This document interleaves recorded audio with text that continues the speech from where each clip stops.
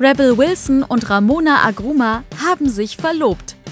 Im Juni macht die Schauspielerin ihre neue Liebe öffentlich. Jetzt will der Pitch Perfect Star offenbar den nächsten Schritt mit der Designerin gehen. Bei einem gemeinsamen Trip nach Disneyland ist es soweit.